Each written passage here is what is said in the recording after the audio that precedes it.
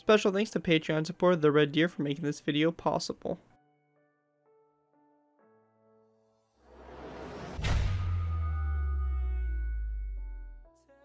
Hello ladies and gentlemen, GARRETT2BY4 here bringing you another Minecraft Cold War tutorial. In this tutorial we'll be going ahead and building the ZU-23-2 anti-aircraft gun. This gun here is a anti-aircraft gun that equips two twin 23mm auto cannons on it, making it very good for close-in, uh, basically anti-aircraft defense. Uh, basically designed to uh, target uh, basically aircraft flying at low altitudes, uh, most importantly focusing in on taking out helicopters or um, other uh, very light troop transport aircraft that would be very low to the ground in uh, deploying troops or uh, various other operations, bombing, whatever it may be. Uh, the ZU-23 uh, 2 has seen widespread service uh, since 1960 and it's still in service today with many countries. Um, I don't know if the if Russia still uses it, but it very well could be used by them. Uh, but I do know that there are different contracts put out, so there China's producing this, uh, Bulgaria, and uh, a bunch of other nations have contracts to actually produce this gun design as well. Uh, in total, the Soviet Union produced 140,000 of these units, and that's not even including the uh, other units that were built by other nations. Pretty crazy amount uh, of this gun produced. Anyways, this version here is the towed version, so basically it's designed to uh, be towed behind some kind of transport uh, type vehicle.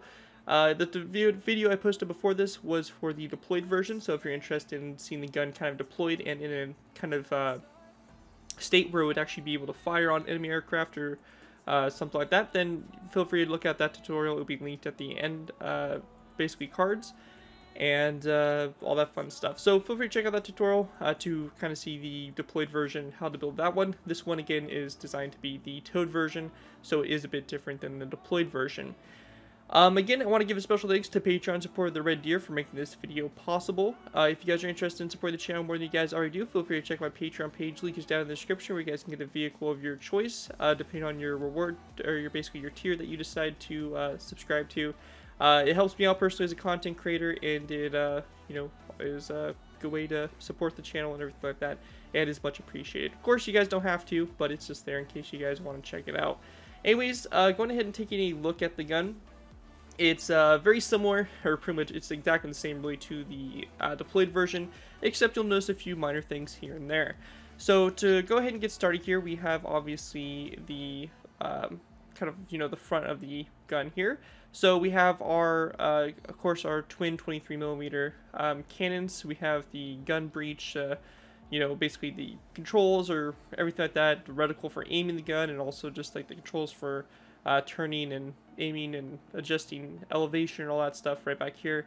And seats here for obviously probably the gunner and probably the uh, loader or something of that kind of sort, some kind of configuration. What's different about this one is the way that this uh, kind of sits. So the kind of hitch back here kind of comes straight out instead of kind of curving up a little bit with the uh, deployed version. And this was uh, made to mostly kind of just show that it can attach up to trucks and stuff like that pretty easily. So it should attach up uh, fairly nicely to any of my, you know, trucks I, have designed. I haven't designed many Soviet trucks, so uh, there is kind of a lack in that department, but it could be uh, attached up to future trucks and, you know, maybe even uh, light armored vehicles or something of that sort that I've built. Um, this thing also you can see with the wheels, we have the wheels deployed and the axle that goes across in between the wheels. You can see with the deployed version, the wheels kind of fold outward. Um, so that's one of the main key differences. So this gun does sit uh, basically one block taller, I believe, um, than it did before it, the uh, you know standard version or the deploy version did. So it does sit a little bit higher, but uh, again, you know, it's the towed version, everything like that. Anyways, that's pretty much an overview for the towed version for the ZU-23-2. Let's go ahead and get into the tutorial. Uh, we're not going to be doing any layers for this since it's a very simple build. Um, so let's just go ahead and dive straight into it. Alright guys, so diving into the tutorial. Now, uh, what we're going to be doing is we're going to go ahead and build it as if we were attaching it to a vehicle. Obviously, we don't have any physical vehicles sitting here, but we can go ahead and kind of get an idea of how this would attach up to any kind of vehicle I have.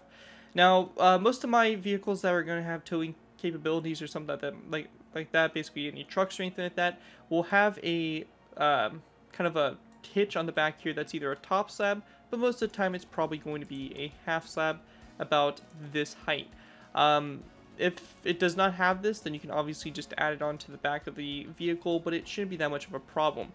Um, you can see with this version here, I have the zombie head, so if you're just having this thing kind of standard just sitting here, um, its kind of towed form format, you can opt out of having, or opt of having the zombie head, but if you're attaching this to a truck, you're going to want to get rid of the zombie head and just go straight into a dark oak fence gate. So we can represent this stone brick slab here as our hitch, and then the dark oak fence gate as obviously the um, first kind of part here of the trailer. So again, it just kind of depends on what truck you're building it attached to, but um, you know that's something to take into account. Anyways, uh, from this dark oak fence gate that's coming off this uh, slab, you can see it's a block off the ground, so a full block off the ground. We're going to place down a dark oak wood slab coming off the fence gate, followed by a second slab after the fence gate like that, um, going back. After that's done, we're going to place down a dark oak fence gate, open up toward this uh, second slab on both sides, like so. After that is complete, we're going to go and continue on by placing down another dark oak fence gate uh, after these dark oak slabs here. So just like this can kind of continue its way inward. Uh, we're then going to place down a dark oak wood top slab coming off both sides of this dark oak wood fence gate. So like that. After that is done, we're going to go and go uh, at an angle from this uh, dark oak wood top slab. We're going to place down a dark oak wood upside down stair. Like this going back up both sides. We then want to go and go to the bottom of this stair and uh, we're going to have to place down a wooden trapdoor uh, like this on the bottom of the dark oak wood upside down stairs. Just like that, so we should have something that kind of looks like this so far for it. After that is all done, we're going to go ahead and grab ourselves dark oak wood slabs, or we're going to place down a dark oak wood top slab, come off this dark oak wood fence gate, followed by a zombie head on both sides of this dark oak wood top slab. Once that's done, come off the zombie head here, we're going to place down a nether brick stair like this. We're then going to place down an upside down nether brick stair underneath this stair for the first half of the wheel here. And we can do the same thing over here. So dark oak wood, uh, regular stair, like so, and an upside down stair underneath it, like that. Once that's all done, we're going to place down another upside down stair behind this stair, and also another stair, or a regular stair behind that stair like so. We're then going to take some stone brick slabs, we're going to place down one, two, and three stone brick top slabs that go across in between these um, stairs like that. We're then going to need to go ahead and go into our inventory. We're going to go and grab ourselves a anvil, and we're going to place down an anvil on the center stone brick top slab there to kind of connect the um, axle up to the actual chassis. And then we're just going to place down a tripwire hook on both sides behind those dark oak wood stairs. Continuing on, we're going to place down a dark oak wood top slab coming off the anvil, followed by a uh, zombie head on both sides of the dark oak wood top slab. We then want to place down a second dark oak wood top slab going toward the front. We're going to place down a dark oak wood fence gate coming off both sides of the slab, and we're going to open up the fence gates so they connect up to the dark oak wood top slab. After that's done on the end here, we're going to place down there dark oak wood upside down stair. And just like we did for the stairs in the back, we're going to go and place down a uh, wooden trapdoor on the bottom of the stair. And we then want to place down a sign on the front of the stair, like so. After that's all done, that's kind of our base of our uh, anti-aircraft gun established. You can see from above what it kind of looks like. And with that, we can go and continue on. So uh, for this, we're going to take a stone button. We're going to place it down on top of this dark oak wood upside down stair here. We're then going to place down a green carpet after the stone button. We then want to place down a dark oak wood stair, followed by a green stained clay block. And we're also going to grab ourselves a dispenser and place down a dispenser on top of this dark oak wood top slab. Once that's all done, we want to go ahead and uh, place down a end rod on top of these two zombie heads, right here on both sides. We're also going to go ahead and go to the middle in between these uh, dark oak wood stairs. We're going to place down eight dark oak wood top in between these two stairs, like so. And we're going to place down a redstone comparator on top of these stairs with the two notches uh, basically going out to the outsides, so like that on both sides. Once that's done, we're going to place down a dark oak wood stair that kind of comes off this um, dark oak wood stair right here, kind of forward like that. Uh, we're going to place down a zombie head on top of the nether brick stair, like so. And on top of the zombie head, we're going to place down a green carpet. Um, there, my bad. Green carpet, like so. We then want to place down a dark wood fence gate, coming off the zombie head like that, and that's going to kind of do it there for the fender. So we're going to do the same thing over here. So again, dark wood stair. We're going to place down a zombie head, like so. Green carpet, and a dark wood fence gate, like so. Um, with that all done, we're going to go ahead and uh, continue on. We can go and go into our inventory, grab ourselves some item frames, and also some red stained glass. These are going to be basically the brake lights that will be on the fenders for the gun. So red stained glass right here. We're going to place down an item frame on these two dark oak wood stairs in the front here, and some item, some uh, red stained glass in those item frames.